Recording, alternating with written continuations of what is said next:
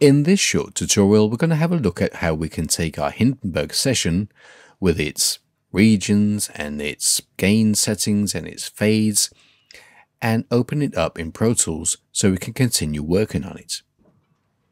This we can do by using AAF. AAF is a format for exchanging sessions between different audio editors. The way we can do it is to go to Save As, and instead of using the normal NHSX format, we now choose the AAF format. When we now save, all the files from our session will be copied to this new AAF folder. Now let's have a look at what we exported. Here in our folder, we can see that we have the AAF session ready to import in Pro Tools.